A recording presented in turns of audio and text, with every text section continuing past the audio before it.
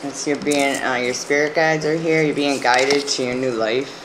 Alright, it might have to do with a new home as well, or moving to a new new area, new location for some of you. Alright, here we go.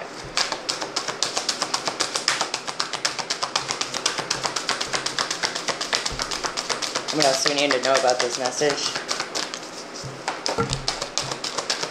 Something's coming to an end. It says, I am learning that endings are merely new beginnings. And I feel good when I can help others.